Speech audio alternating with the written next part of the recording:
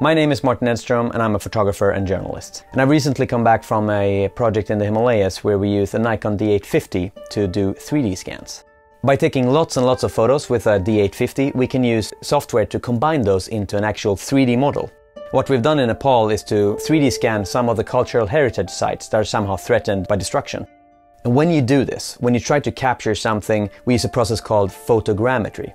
This is basically taking tons and tons of images that we then combine into a 3D model by using software. And the most important thing here is it has to be an extremely high image quality. So using uh, a DSLR like the Nikon D850, we need that ultimate precision.